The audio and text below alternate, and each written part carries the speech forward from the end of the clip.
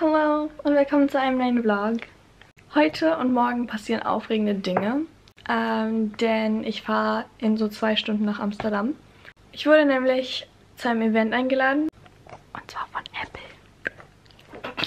Apple hat mich gefragt, ob ähm, ich denen einen Besuch abstatten möchte, denn es gibt einen Roboter von Apple, der heißt Daisy und der recycelt alte Handys, die zum Beispiel durch die Trade-In-Funktion eingeliefert werden. Aber es ist ein bisschen außerhalb meiner Komfortzone, weil ich dann auch vor Leuten vloggen werde. Und das mache ich nie. Also ich vlogge ja nicht mal von meinen Freunden oder so. Nicht mal von meinen Brüdern eigentlich. Ja, und in den nächsten zwei Stunden muss ich noch extrem viel erledigen. Deshalb, let's do it. Let's do this. Mein Zugoutfit und mein, ähm, hier heute Abend noch mit meinem Manager essen. Naja, auf jeden Fall, diese Hose ist mega, mega nice. Ich habe die jetzt schon tausendmal gezeigt. Die ist von Naked, beziehungsweise habe ich die auf About You bestellt. Und dann diesen Pulli, der ist auch von About You von Lena Gerke. Leger heißt die Marke. Mal kurz, wie voll das bitte ist. Es ist so voll und so laut. Nach sechseinhalb Stunden bin ich endlich hier. Ach. Die Frau in der Rezeption hat mich gerade gefragt, ob ich meinen Reisepass zeigen kann. Ich meinte, so geht auf meinen Perso. Und meinte sie so, oh ja, aber ich dachte, du wärst Amerikanerin.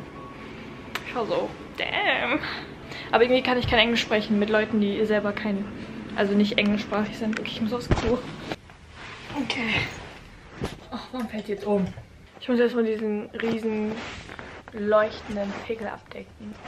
Bleib doch einfach stehen. Ich habe keinen Nerv dafür. Oh, ich habe so Kopfschmerzen. Okay.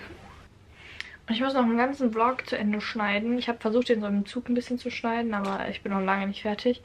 Ich habe ein wenig Angst, dass, die, dass ich heute Abend wieder stundenlang wach bin, weil ich diesen Vlog versuche fertig zu kriegen. Ich habe hier eigentlich eine Cutterin, aber es war zu kurzfristig, um den noch ihr zu schicken. Und ich will ihr das nicht antun, dass ich dann so... You know. Ich habe jetzt noch so einen Clip ins Haar getan. Keine Ahnung, ich glaube, der hält nicht lange. Der fällt jetzt schon raus. Okay, mein Outfit ist immer das gleiche. Ist einfach nice. Brauche ich eine Maske? Nee, in Holland sind die dann nicht so.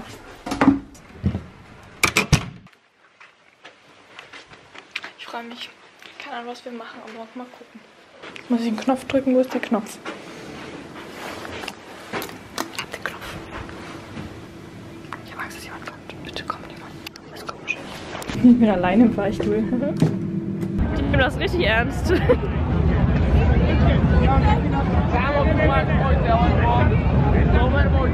Hallo und guten Morgen. Ich habe mich gerade fertig gemacht. Ähm, es ist 8.35 Uhr und ich muss irgendwo 5 Minuten runter zum Frühstück gehen. Ich bin irgendwie so ein bisschen nervös, aber auf der anderen Seite habe ich auch einfach Angst. Scheiße. Okay, mein Manager hat gesagt, in 5 Minuten treffen wir uns unten. Ich brauche allein 5 Minuten zum Zähneputzen. Oh mein Gott. Bleib mal stehen, Kamera. Einmal in deinem Leben. Bitte. Okay. Ich habe nicht mal mit Zeug gepackt.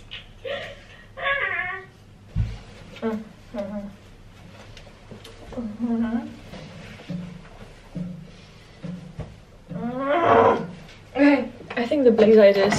ich zeig dir die gleich. Ich muss mein Hemd wegräumen. Das ist das Outfit. Ähm, ich muss gleich eine Minute unten sein. Der Blazer ist von Only. Das Top ist von Leger, also von About You. Die Hose ist von Naked, habe ich, aber, hab ich aber auch von About You. Hallo, ich bin jetzt bei Daisy, ähm, also bei der bei dem Roboter und ich wollte hier einmal mir die Tafel nochmal durchlesen, weil es sehr, sehr viele Informationen gibt, die ähm, ich mich alle merken kann. Und zwar wurde mir gerade erklärt, wie früher alles recycelt wurde und was halt die Probleme waren und was man verändern muss. Ich kann dazu nochmal mehr erzählen. Ähm, aber hier sind zum Beispiel die 14 wichtigsten Materialien, also die machen 90% eigentlich aus. Okay. Also das ist Daisy, von dem wir reden. So eine faszinierende Maschine. Okay, also, bevor es alles weitergeht, ich habe extrem viel gelernt. Sehr, sehr viele Informationen. Ich habe sehr coole Gespräche geführt mit Mitarbeitern aus den Niederlanden, aber auch aus Texas zum Beispiel. Und weil das alles sehr viele Informationen sind, dachte ich, ich fasse die immer für dich zusammen, damit du auch ein bisschen über die Nachhaltigkeit von Apple lernen kannst und vor allem über diesen coolen Roboter, den ich gleich zeigen werde.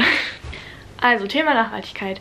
Apple ist ein riesiges Unternehmen. Äh, die haben 213 Zulieferer und verkaufen hunderte Millionen Produkte jedes Jahr. Und wie man sich denken kann, Apple ist noch nicht nachhaltig. Und sie haben einen riesigen Einfluss auf die Umwelt und sehr viel Verantwortung, weshalb sie etwas ändern müssen. Sie haben zwei große Ziele, nämlich einmal klimaneutraler zu werden und die Produkte zu 100% aus recycelten Materialien herzustellen. Zum ersten Ziel, dass sie klimaneutraler werden wollen. Sie versuchen das seit 2015 und bis jetzt sind sie bei 40%. Das Unternehmen an sich, also die Apple Stores, die Geschäftsreisen, die Büroräume, die Datenbänke, die Pendler und so weiter, das ist alles schon klimaneutral.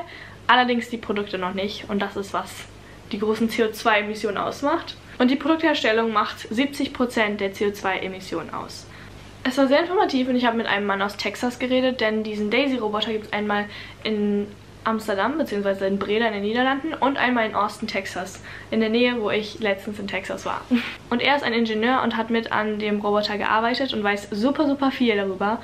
Und er hat mir halt erzählt, was für ein riesiges Team weltweit an diesem Nachhaltigkeitsaspekt arbeitet.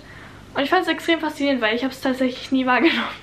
Das war das erste Ziel, aber darüber will ich gar nicht so genau reden, denn es geht eigentlich um das zweite Ziel, nämlich alle Produkte zu 100% aus recycelten Materialien oder aus erneuerbaren äh, Rohstoffen oder Materialien herzustellen.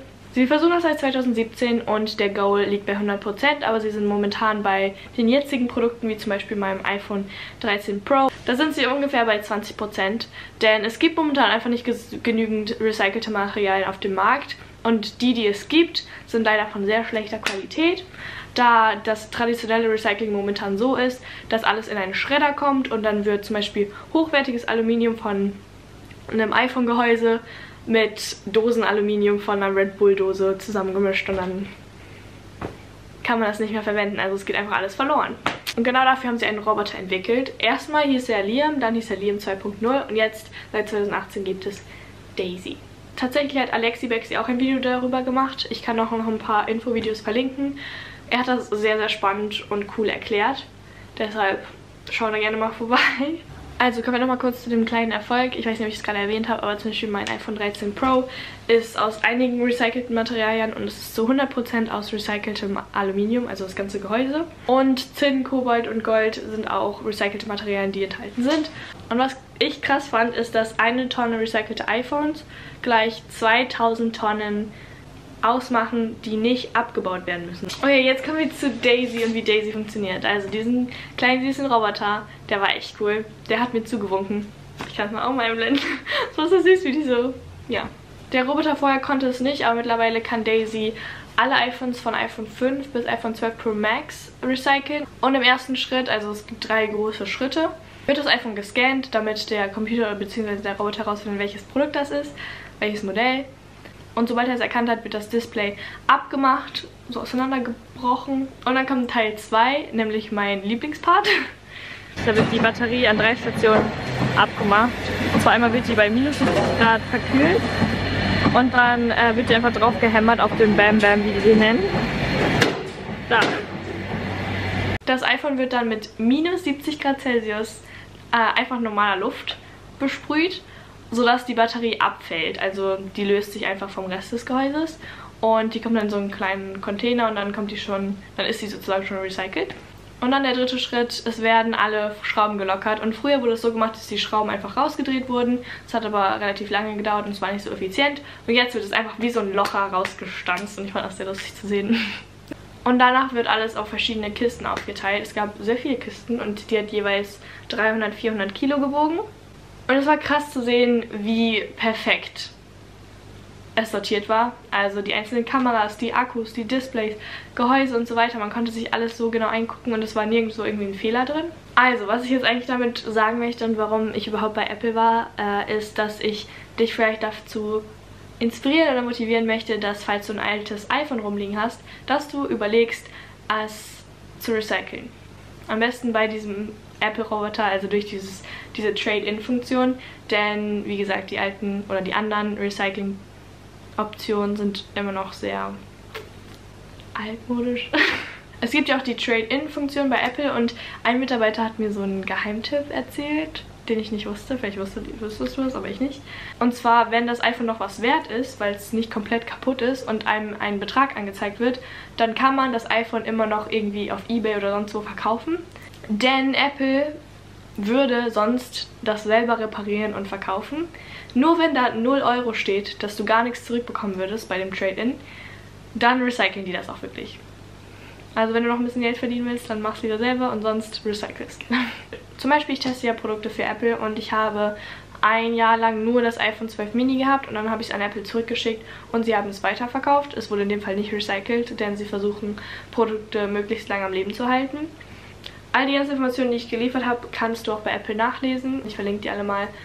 Wenn mehr iPhones recycelt werden, dann können mehr Daisies sozusagen gebaut werden und dann können generell mehr recycelte Materialien auch verkauft werden von Apple.